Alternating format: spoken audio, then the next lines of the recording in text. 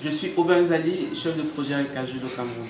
Dans notre intervention, depuis le début du projet Recajut, nous avons conduit des consultations juridiques, mais également offert de l'assistance juridique gratuite à des détenus vulnérables dans les prisons du Cameroun. Nous menons également des actions de plaidoyer pour faire avancer la question des peines alternatives et de la sensibilisation et de la communication pour un meilleur accès à l'information sur les droits. Le travail que nous accomplissons est louable. Il donne des résultats assez impressionnants sur le terrain, mais il y a encore des choses à faire. Dans un contexte juridique où on a une justice qui est très souvent aux ordres des plus forts, des plus riches ou des politiques, les actions comme celle-ci sont importantes.